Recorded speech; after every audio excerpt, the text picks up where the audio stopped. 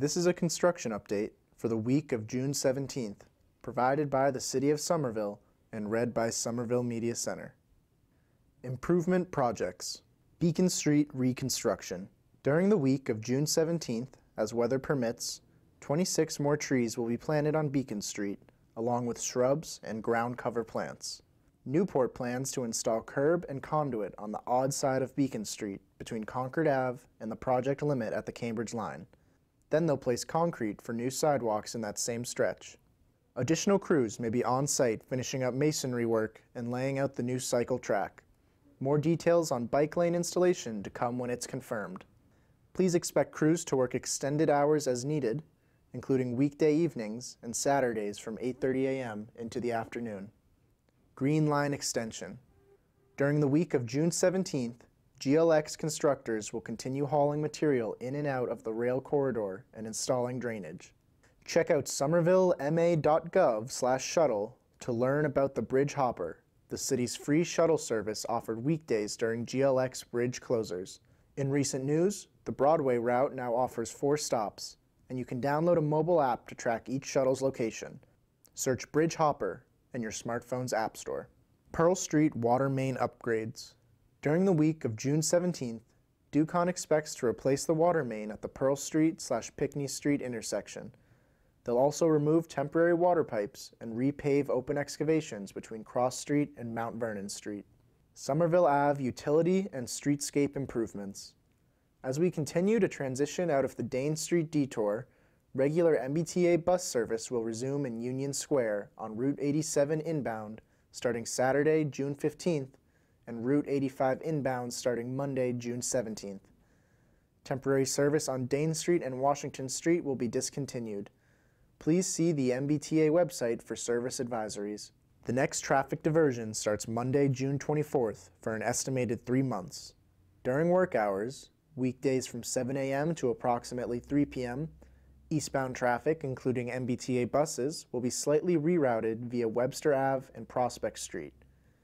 That will allow crews to install the next portion of the box culvert drainage infrastructure near the Somerville Media Center building.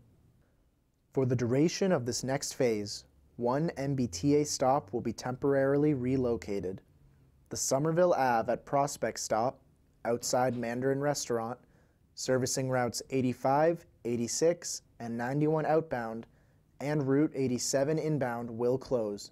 A temporary stop for those same riders will be established at the corner of Prospect Street and Bennett Court at an existing Route CT2 stop. This change in service will be in effect 24 7. During the week of June 17th, Barletta will continue a variety of work on Bow Street, just west of Stone Ave. Northbound traffic on Webster Ave will still need to turn at the Washington Street slash Somerville Ave intersection until that work is finished, an estimated one month.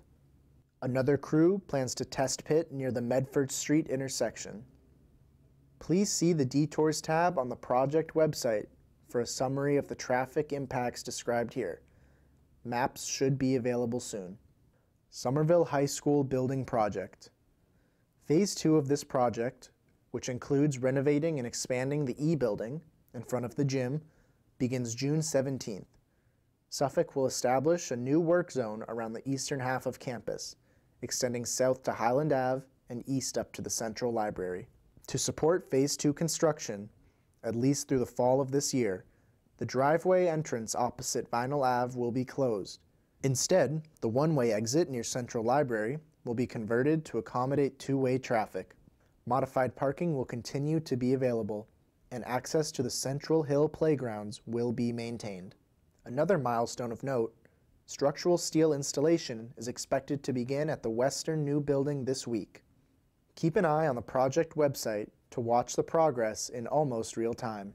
At the eastern building, interior abatement and demo will begin on the first, second, and third floors of the E building.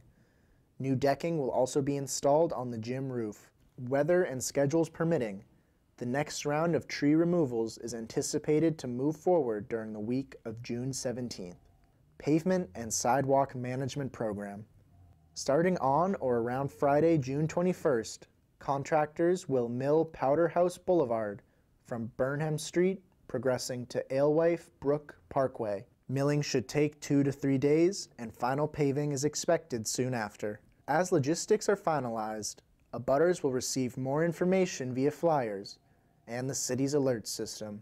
During the week of June 17th, contractors also plan to reconstruct sidewalks on Smith Ave and Properzi Way. Next on the list is Medford Street, Partridge Ave to School Street. Additional utility work. Utility companies are responsible for notifying residents prior to conducting any work, but we expect parking restrictions and lane shifts due to the following utility work this week. Detail officers may close a road if deemed necessary for safety.